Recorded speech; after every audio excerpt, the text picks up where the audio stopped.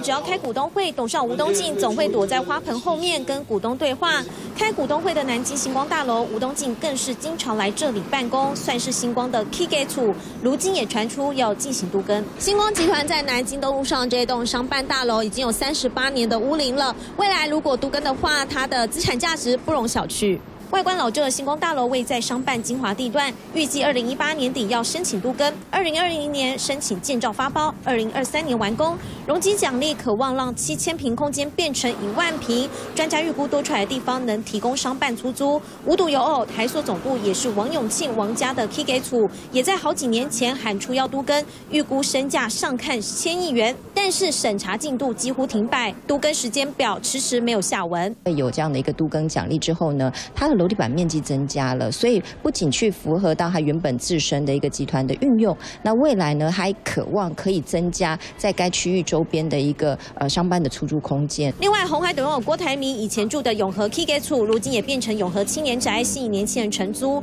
还有国泰富邦蔡家以前大家族的 K 给处，现在就是敦南成品，本来卖给星光，后来由三少蔡振宇买回。大企业的总部或 K 给处，大部分都在精华地段，有的选择都跟增加价值，有的变成地标，让老板们的 K 给处增添不少话题。三立炫谷高叔邱子林台北报道。